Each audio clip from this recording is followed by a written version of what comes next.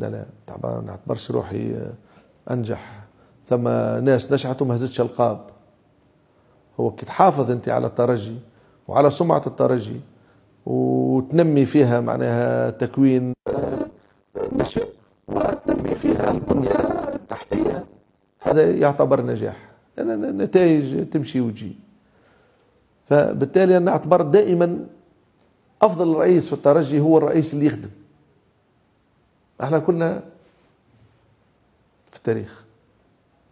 تو حمد المدب هو اللي قاعد مشينا في الجمعيه هو أفضل رئيس. غدوة. مجنون دبلوماسيه سي سليم شكون احسن رئيس شد الترجي؟ والله لا وراسك. معناها صدقني معناها يعني آه، شادي زويتن الله يرحمه هز لقب ولا اثنين. 36 سنة.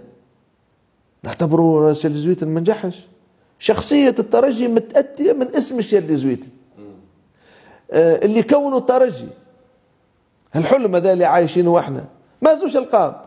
شو نعتبروهم هم أنجح رؤساء. إذا تحب نلوجوا شكون أكثر. هم أنجح رؤساء. لكن نقول لك أنا دائما الرئيس اللي قاعد يخدم توا هو أفضل رئيس معناها نهار اللي يمشي حمد المدب. الرئيس اللي بعده باش يكون أفضل رئيس؟ واللي يمشي اللي بعد حمد اللي بيجي بعده هو أفضل رئيس ديما راجل راجل امنا هو أبونا. لا لا لا لا لا لا لا لا, لا. بعيد أنا راني على الدبلوماسية. بعيد برشا برشا برشا على الدبلوماسية. هذا الواقع. وهذا اللي لازم يفهمه جمهور الترجي.